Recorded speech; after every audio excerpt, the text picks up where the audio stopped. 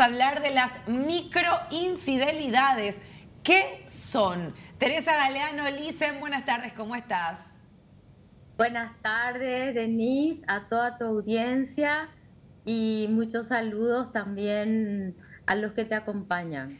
Gracias, Lisen. Antes que nada, eh, una pareja debe establecer en una conversación, quizás en sus primeros meses de relación, qué es o no considerado infidelidad por la otra parte, porque quizás para Denru y su pareja eh, una infidelidad implique una relación sexual con otra persona. Sin embargo, para mí y mi pareja no haya problema con el sexo siempre y cuando no involucre sentimientos. O sea, cada pareja tiene su concepto de infidelidad, ¿verdad?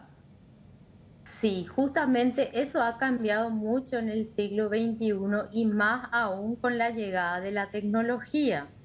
¿Verdad? Que las parejas son las que pactan cuál va a ser el contrato que tienen de fidelidad. Por eso no podemos generalizar si ha sido o no una infidelidad para esa pareja, porque cada pareja hace un contrato, sea implícito o explícito, mucho mejor si es explícito, de cuáles van a ser los puntos a tener en cuenta en la, en la fidelidad y en la infidelidad. Entonces es muy importante, si no lo hiciste todavía con tu pareja y estás empezando, que tengas un buen pacto y un buen arreglo de qué es considerado para vos la infidelidad y qué es considerado para él la infidelidad. Hola Licen, ¿cómo estás? Qué importante este tema porque es muy cierto. Justamente yo creo que todos tenemos amigos y amigas con los que hablamos decimos, ah, mira, a tu novio le dio me gusta la foto de esta modelo. Yo decía, no, a mí no me molesta, pero a mi amiga, por ejemplo, sí le puede molestar y dice, no, ¿cómo le va a dar? Está su nombre, él es mi novio. O sea, ¿Cómo uno hace entonces, verdad? En vez de estar hablando de eso con las amistades, hablarlo con tu pareja, porque justamente el problema se genera por eso, porque ninguno quizás se anima a hablarlo. ¿Cómo uno plantea esa situación? Mira, yo lo que veo que lo que más resulta ahora, porque realmente hay muchas parejas en crisis por el tema de las microinfidelidades, ¿verdad? Entonces yo creo que es muy importante cuando uno inicia, y sobre todo si es una relación ya madura, que uno inicie con un contrato previo, es decir, un contrato verbal hablado de qué es lo que yo voy a aceptar y qué es lo que yo no voy a aceptar. Y dentro de lo que llamamos infidelidad, ¿a qué le voy a yo considerar una infidelidad o una traición al acuerdo hecho, ¿verdad? Porque la infidelidad parece una palabra muy grande. En cambio, la infidelidad es la deslealtad a un acuerdo hecho entre ambos.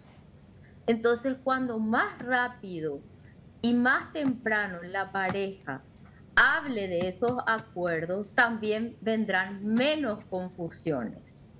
Por eso que eh, hoy se están hablando de las microinfidelidades porque lo que, se, lo que se observa es que una de las dos partes que estaba comprometida traicionó ese acuerdo que había quedado implícito verbalmente antes de empezar la relación. Ahora, licenciada, las cláusulas y condiciones de ese contrato se van elaborando durante el desarrollo de la misma relación, ¿no? Sí, eso también es muy interesante. Tal vez al principio la cláusula, vamos a decir, el acuerdo es menos, menos o más flexible, ¿verdad? Y a medida que se va consolidando la relación, se vuelve más, eh, no sé si llamar la palabra estricto, pero como menos flexible y, menos tolerante a ciertas situaciones, ¿verdad? Licenciada, eh, ¿sí? ¿Por qué, por ejemplo, a ver, a mí me puede parecer bien algo que a Denise no? O sea, ¿cómo se da esa variación? ¿Es por, por mí, por mi carácter o capaz porque yo sé cómo es mi pareja? Por ejemplo, darte un ejemplo que suele ocurrir mucho en las peleas por las redes sociales, ¿verdad? Yo sé que a mi novio en teoría no le gusta, o quiero decir, no le importa que yo le dé like a todos los tipos de Instagram. Pero, por ejemplo, Denise no le gusta que su pareja lo haga. ¿Eso por qué varía? ¿Va más por nuestras personas o por nuestras parejas sabiendo cómo son? Yo creo que ambas cosas. En primer lugar, tiene mucho que ver tu historia de vida. ¿Qué pasa si en tu historia de vida eh, hubo una infidelidad recurrente de parte de tu papá hacia tu mamá? Vas a ser mucho más susceptible a ese tema porque es una herida que ya tenés de la infancia. Y además, y además, también influye mucho el tipo de pareja que tenés. Puede ser que sea una pareja muy sociable, muy abierta, muy, eh, em, mm, muy de, de, mostrarse en las redes. Y entonces esto, además de la herida que tenés, te puede generar más inseguridad.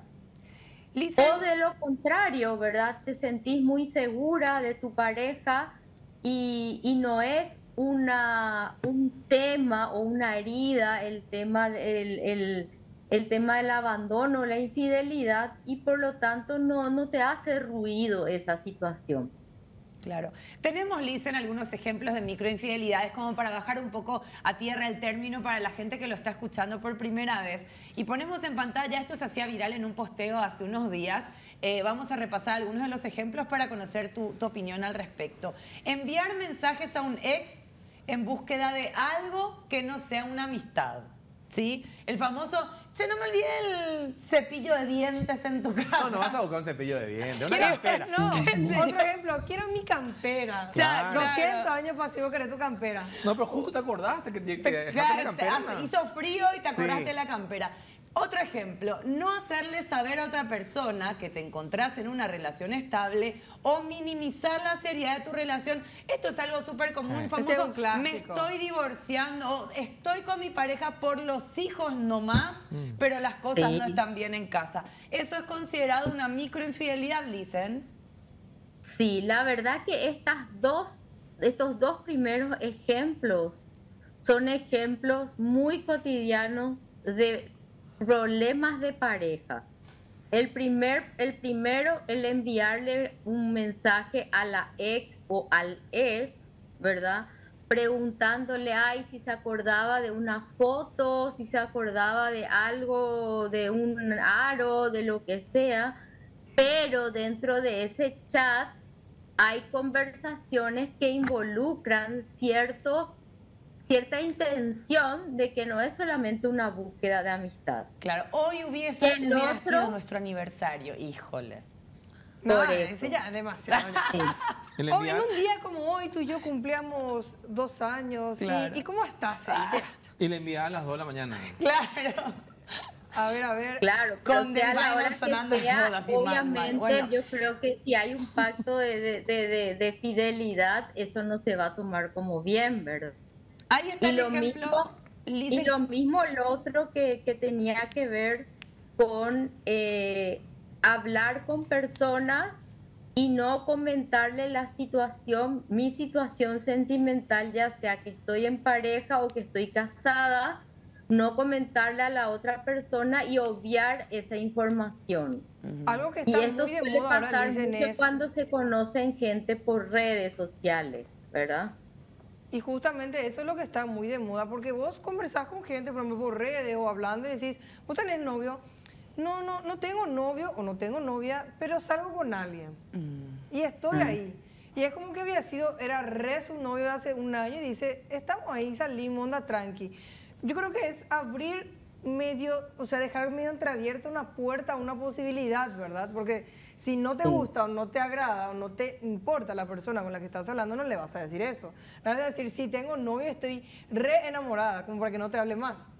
Claro, un filósofo contemporáneo dijo, dime que no y deja la puerta abierta. Exacto.